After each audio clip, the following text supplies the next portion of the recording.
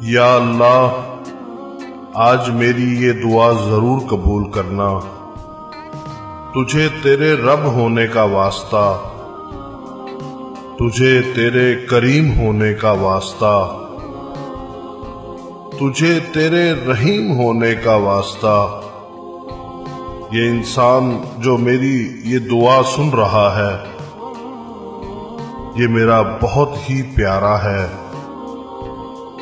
اس کی زندگی خوشیوں سے بھر دے۔ اس کو ہر دکھ، تکلیف اور پریشانی سے بچانا۔ اس کو ہر ناگہانی، آفات اور ہر بیماری سے بچانا۔ اس کو بہت آگے بڑھانا اور ترقی دینا۔ آمین۔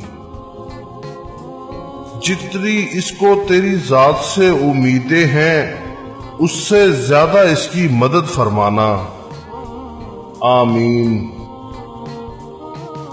اس کی زندگی میں اجالا بھرنا اور اس کا نصیب اچھا کرنا۔ یہ دعا ہر اس انسان کو بھیجنا جو آپ کو بہت عزیز ہو۔ کیا پتا کس وقت کسی کی دعا بارگاہ الہی میں قبول ہو جائے۔ آمین۔ شکریہ۔